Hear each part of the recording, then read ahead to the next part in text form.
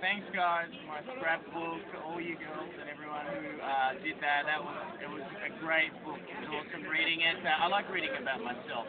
You know, it's one of my hobbies. Uh, I like looking at pictures of myself, and you guys provided me with a lot of material for my favorite hobby. So seriously, thank you very much. And